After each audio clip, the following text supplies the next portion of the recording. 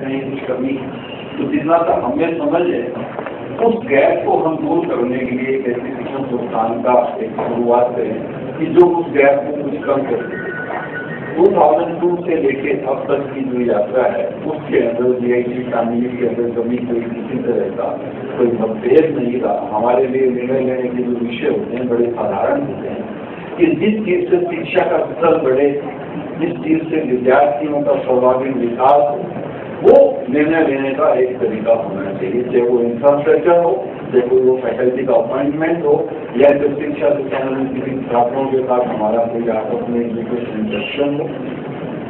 जिज्ञासा हमने 2002 के अंदर शुरू की, जिसके अंदर हम ये चाहते थे कि हमारे बच्चे खाली अकेडमिक नॉलेज के साथ अपना जीवन ना जिए। वो जो कुछ वो ज्ञान प्राप्त कर रहे हैं, उसको व्यवहारिक तौर पर अपने प्रोजेक्ट के द्वारा उस ज्ञान को प्रैक्टिकली एक्सपीरियंस करें। और ये बड़ा हमारे लिए एक सेटिस्फाइंग फैक्टर है कि हमारे बच्चों ने पिछले दस सालों में पूरे भारत के अंदर सब जगह कंपटीशन में पार्टिसिपेट किया। बहुत सारी जगह उन्होंने आई के कंपटीशन में भी फ़र्स्ट प्राइज जीता। हम लोगों को अमेरिका माइक्रोसॉफ्ट जैसी कंपनी ने इन्वाइट किया, वहाँ प्रेजेंटेशन के लिए हम किसी दिन आपका और अधिक समय लेके जो हमारे बच्चों ने आज तक जो प्रोजेक्ट बनाए हैं, उस लैब को आपको विज़िट कराना चाहिए। तो आपको भी वो जानकर पूछेगा मैं आपका ज़्यादा समय नहीं लेना चाहूँगा। मैं, मेरा ज़्यादा बोलने की वजह से ये ज़्यादा पसंद करूँगा कि आप हमें आशीर्वाद के तौर पर अपने ज्ञान के द्वारा प्रकाशित करें। इसलिए अंत में अगेन मैं हार्दिक आभारी हूँ आपका और हमें ऐसा लगता है कि जैसे हमारे विचार हैं जैसा एक विचारक हो जैसा एक व्यक्ति जो सबसे पहले एक इंसान है वो हमारे बीच में आया हम बहुत बहुत आपके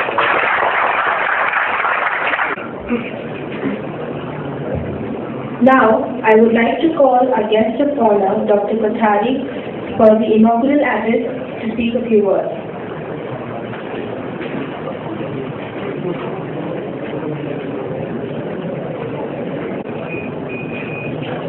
सम्मानीय सिंगल साहब।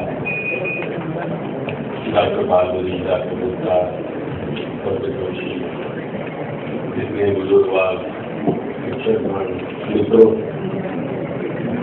सबसे पहले तो मुझे इतनी खुशी इस बात से हुई कि जो मैंने अभी डॉक्टर सिंह सर से सुना, जिस भाषा में सुना, जिस भावनात्मक धरातल पर लोग बोल रहे थे। आप सबको बधाई देता हूँ। आप सब सौभाग्यवान हो कि ऐसा भाव, किसी शिक्षण को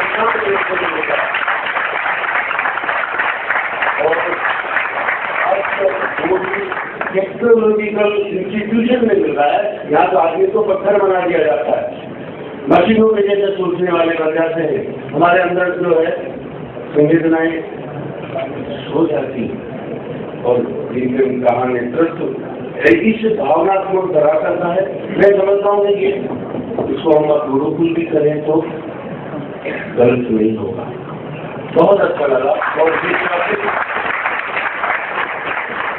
ये जो शब्द विज्ञान जो शब्द है, मुझे नहीं मालूम इससे आगे कोई दूसरा शब्द है जिसके बिना हम ज्ञान या विज्ञान में प्रवेश कर सकते हैं। जिसके पास जिज्ञासा नहीं है न उसको कभी ज्ञान प्राप्त हो सकता है न उसको वो विज्ञान में कभी एंट्री ले सकता है। तो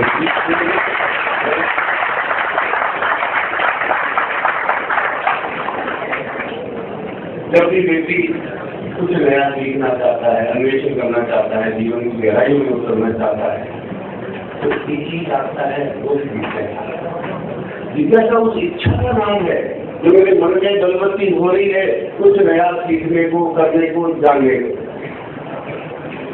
इस मन को शिक्षा से बाहर निकाल दिया, इससे बड़ी कोई भी राजनीति मेरे जीवन में नहीं आ सकती। इसको भी सबसे पहले, अब आप सब ज़िंदगी के उस मोड़ पर हैं, जहाँ कुछ छलांगे लगाने का अवसर आपके सामने है। जीवन में कई बुराइयों पर भी हमको यात्रा करने का समय आ रहा है। लेकिन अगर ये सूत्र नहीं समझ में आया तो यहाँ पड़ा हुआ केवल नौकरी करने के साथ तो मेरे लिए काम आएगा। तो नौकरी करने के अलावा जीने भी मेरे को कोई मदद नहीं करेगा। इसको ज़रूर समझेगा इस डिग्री से क्या करेंगे हम? नौकरी? और क्या मेरा ज़िंदगी का उद्देश्य?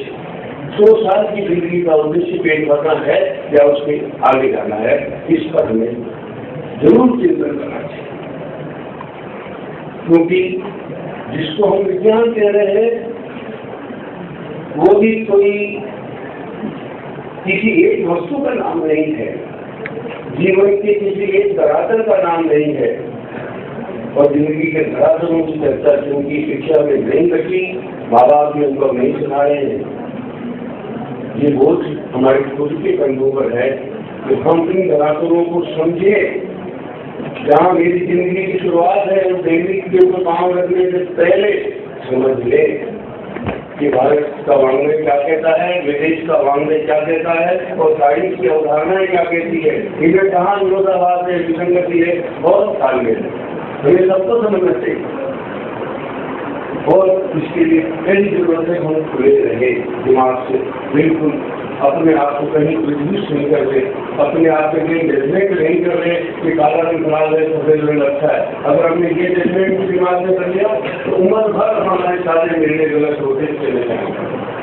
फिर मुझे काले रंग में कोई अच्छाई नज़र नहीं आएगी सफ़ेद रंग में कोई बुराई नज़र नहीं आएगी, और पता नहीं मेरे देश मुझे कहाँ नहीं आएगी इसलिए हमारी पहली ज़रूरत यही है कि हम जीवन के उन धरातलों को देखें, जिन पर मैं अपने बुद्धि को, ज्ञान को, मन को, शरीर को, आत्मा को जोड़ना चाहता हूँ जोड़ जीवन चाहता हूँ, रखना चाहती हूँ।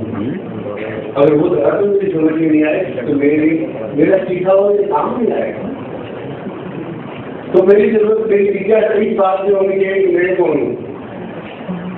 क्या मेरे शरीर का नाम मैं है? शरीर इच्छा नहीं होती शरीर जड़ है, शरीर अपने आप में कोई एक्टिविटी करने की कैपेसिटी नहीं रही है, उसको कोई कमांड रहता है तो उसमें अंतर होती है।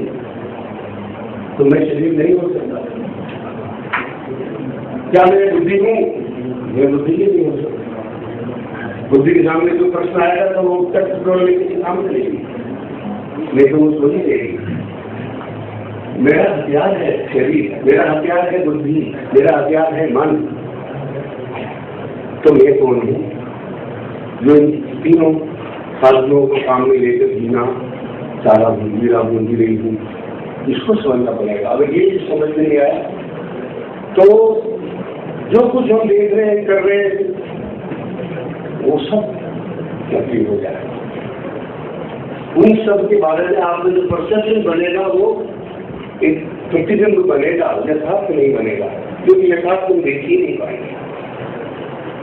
जब हम साइंस की बात करते हैं तो क्या हमको केवल पश्चिम का साइंस चाहिए? हमारे धरातल में अधिदेव है, अधिभूत है, अध्यात्म तीन धरातल में जीने एक दर्शन एक तीन धरातल देता है, मुझे जीने के लिए। जो साइंस दे रहा है, वो अधिभूति धरातल दे रहा है मुझे। वहाँ आधे की तो कल्पना ही नहीं है। और विवेक तो सारा जीवन अधिदेश के सहारे चलता है। मुझे जीवन में कोई कष्ट आता है किसी किसी हनुमान जी के, भैरव जी के, लक्ष्मी जी के कहीं के जाके आठ में उतारने लग जाता हूँ। हाथ जोड़ के खड़ा हो जाता हूँ, मांगने खड़ा हो जाता हूँ। मेरे सामने हज़ारों ऐसी ताकतें हैं जहाँ मैं अपने आप को मांगने लायक महसूस करने लग जाता हूँ। वो क्या है? वो वैज्ञानिक तत्व है। शक्ल नहीं है।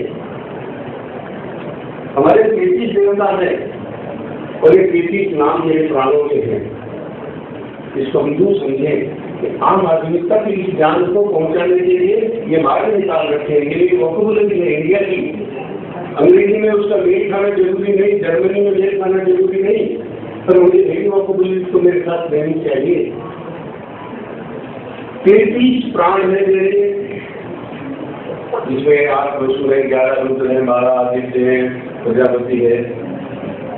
आप इसको रूप चलाए तो वही तैतीस मेरी वर्णमाला के अक्षर भी है। देखिए साइंसदान दे रहा है मैं कहने की मेरी हर चीज़ को आपके साथ बैठ के डिस्कस करने को तैयार हूँ प्रूव करने को भी तैयार हूँ प्रश्न है, मेरे मन में आता है या नहीं। ये कहना चाहता हूँ। अगर तैतीस वर्ण है मेरे वर्णमाला में तो तैतीस के तैतीस देवताओं के साथ मेरी वर्णमाला जुड़ी है। हर देवता का एक बीज मंत्र है। आप हम बोलेंगे तो गणेश जी के पास जा रहे हैं तो हम बोलेंगे तो हनुमान जी के पास जा रहे होंगे। जो मान लीजिए। इसका अर्थ मेरे एक एक वर्ण में ताकत कितनी? क्या हम जो मुँह से बोल रहे हैं उसका अर्थ समझ पा रहे कि हम जो हमारे शब्द जो है, उनके वाइब्रेशन का प्रभाव क्या पड़ता है? करते हैं क्यों रोज प्रार्थना करते हैं हम दिवाली में को पूज रहे हैं या अलग अलग त्योहारों के ऊपर अलग अलग देवता का आह्वान कर रहे हैं, अनुष्ठान क्यों कर रहे हैं? क्यों उनके मंत्र रहे हैं? क्योंकि वो मंत्र सरस्वती के हैं। उस सरस्वती से जुड़े हैं जिसमें चेतना है। और उसके सहारे हम लक्ष्मी को प्राप्त करना चाह रहे हैं जो कि अचेतन है, ग्रह है, जड़ है।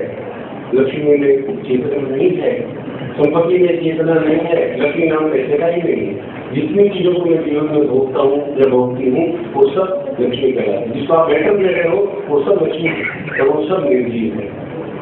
जिसको आप एनर्जी कह रहे हो, सही पूछो तो उसमें भी जीव प्राणों से आता है।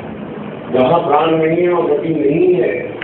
साइंस में मैटर और एनर्जी दो आइटम है और दोनों इंटरचेंजेबल है मैटर से एनर्जी बनती है परिवारिक होता लेकिन बिना प्राणों के उनमें गति नहीं हो सकती एनर्जी परिवर्तन तो कर सकती है, गति हो सकती इसको कोई समझना कि तीसरा एक कैटेलिस्ट कौन सा है? इसको हम ऑक्सीजन कहते हैं। ये मेरे वो तैतीस प्राण है। और इनको समझने के लिए वर्णमाला मेरी मदद करेगी। क्योंकि हमारे जितने प्रयोग होते हैं, वो लेबोरेटरी में नहीं होते। जिसको भी अलग से समझने की ज़रूरत, क्योंकि लेबोरेटरी में प्रयोग हो रहे हैं, वो आज भौतिक पे हो रहे हैं। भूत सृष्टि पर हो रहे हैं स्थूल भारी जीवन पे हो रहे हैं।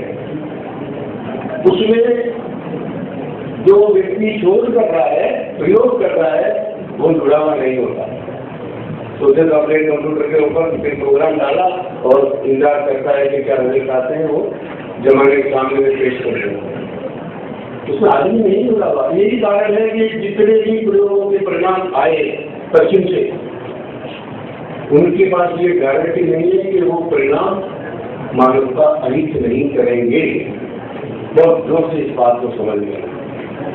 अनुभव क्यों बना? सारी अणु आणविक ऊर्जा जो है, वो विद्युत उत्पादन या दूसरे कामों में क्यों नहीं लग पाई? क्योंकि उसका निर्णय आदमी के हाथ में है।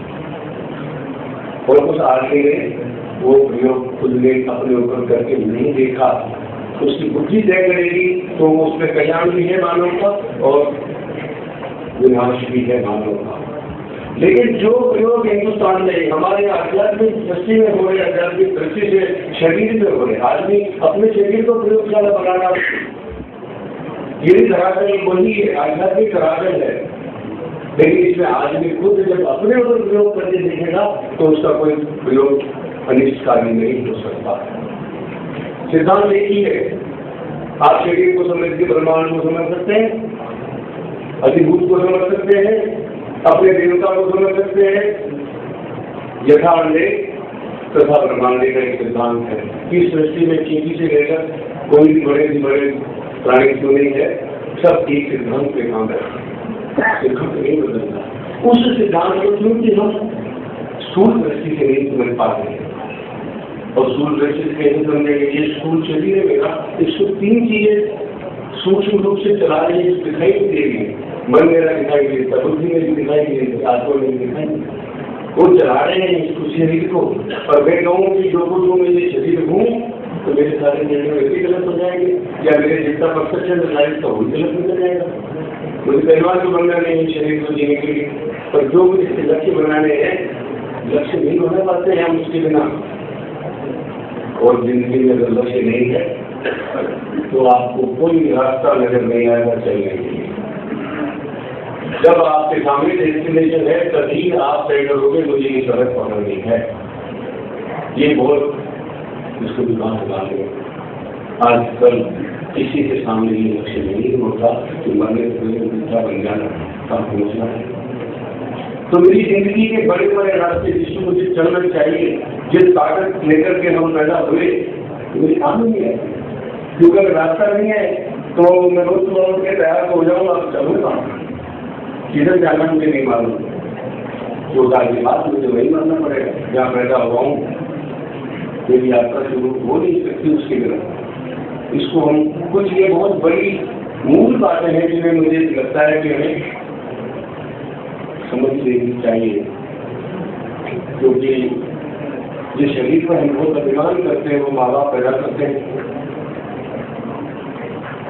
उस खाली माँ बाप ही नहीं पैदा करते हमारे यहाँ गहरे साहब कहते हैं कि सात पीढ़ी का अंश हर शरीर में होता है।